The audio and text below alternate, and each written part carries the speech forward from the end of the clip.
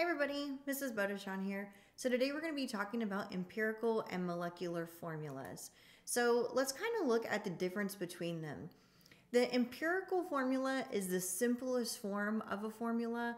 That is like the reduced ratio of the formula or the smallest we can get it. The molecular formula is going to be larger than the empirical formula um, the majority of the time.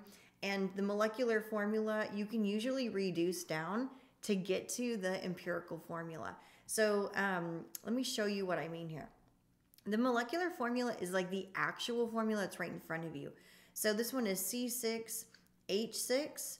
Well, we can reduce that down. We can divide these by 6 each, and we can get the empirical formula CH, and they're really just one each after dividing by 6. If I look at this example, C6H12O6, we can divide all of these by 6 as well. So if we do that, we're going to end up getting CH2O because we don't really have to write the ones. So the empirical formula is the reduced simplest formula and the molecular is going to be your actual formula. On occasion, your molecular formula will be the empirical formula. So for example, if you were given a question on a test and it said the molecular formula is CH2O, what is the empirical formula? Well, we can't reduce it any further. So therefore they would be identical. The molecular formula would also equal empirical formula. All right, let's try some math. So it says solve for the empirical formula. A compound is found to have a percent composition of 5.94% hydrogen and 94.06% oxygen. In order to solve this, we need to follow these steps here. The first thing we're going to do is change our percentage to a gram. Then we're going to convert our grams to moles in a bridge. It's a one-step bridge. And then we're going to divide by the smallest number by all of our answers. Once we do that, we need to look at our rounding rules so that we can go ahead and get our empirical formula. Let's just try it out.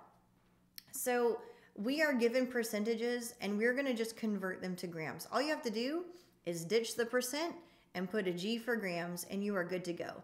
The next one, we need to convert grams to moles. So go ahead and set up your one-step bridges.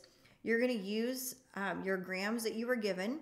So here we have 5.94 grams of hydrogen, Diagonal down needs to be grams of hydrogen, and you're looking at your periodic table for the molar mass of hydrogen, which is the 1.01, and we're going to change that into moles. One mole equals the molar mass. Put it in your calculator, you get 5.88 moles of hydrogen. We're going to repeat the same process over here with the 94.06 grams of oxygen. This time, our uh, molar mass on the periodic table is 16. So our math is going to come out to 5.88 moles of oxygen. Now, it's very rare that you get the same answer for both, but you're going to look and you're going to say which one is the smallest number, and then you're going to divide both of these answers by that smaller number. So it's going to look like this. I wrote them both out and we're dividing by 5.88 since they're the same in this case.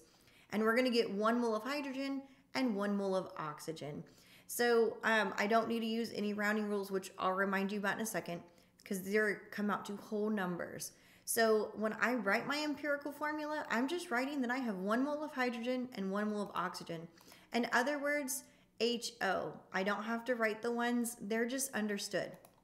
Now let's go over those rounding rules. If I were to get an answer that had a decimal, I cannot have a um, part of an atom.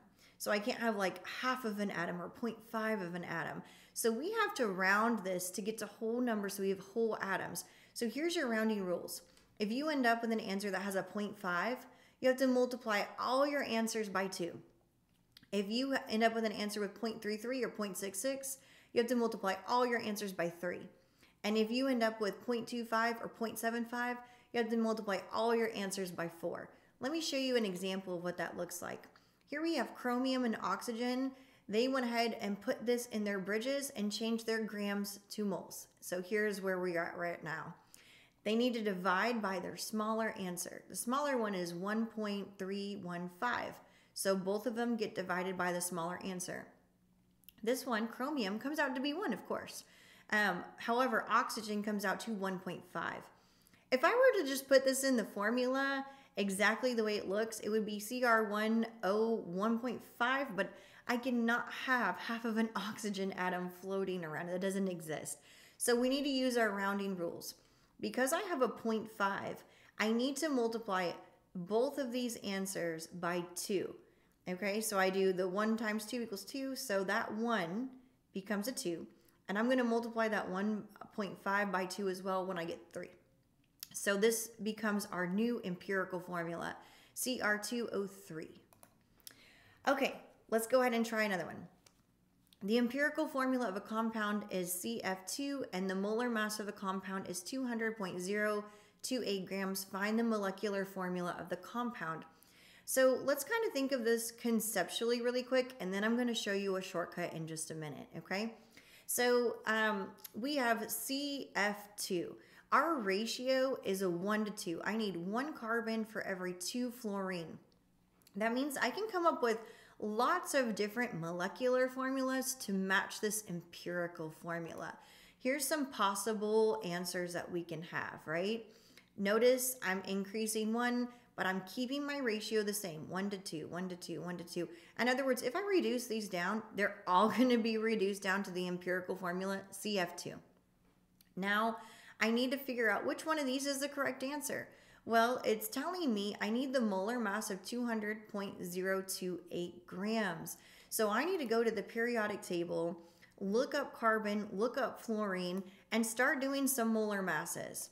So carbon is 12, fluorine is roughly 19. So if I do one carbon plus two fluorine, it gives me 50. If I do two carbon and four fluorine added together, it gives me 100. If I do three carbon and six fluorine, it gives me 150. If I do four carbon and eight fluorine, it gives me 200. And that is exactly what we're looking for in our word problem. So here's the molecular formula that it's wanting, C4F8, and that would be our answer. You guys, this is the very long and drawn out way of doing this, but it does work. And conceptually, if you understand this, then it's really good for you and you'll understand pretty much the rest of it. So let's find an easier way of doing this, okay? If we use these two formulas, which look scarier than they are, so we're to first do our molar mass of the molecular formula, and we're to divide that by the molar mass of our empirical formula.